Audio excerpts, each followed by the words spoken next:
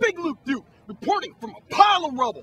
I'm here to tell you that Saturday, Saturday, Saturday, August 5th, at the House of Bricks, Afroman's gonna be playing. Come on out. It's an all ages show. You can buy the tickets at iowatix.com. Now, if you're not gonna be at the show Saturday, August 5th at the House of Bricks, you ain't nothing. Tell your friends, tell your family to come down to the House of Bricks Saturday, August 5th to see Afroman featuring Johnny Reef for seeing the High Rollers and your boys Strict Nine and the Truth.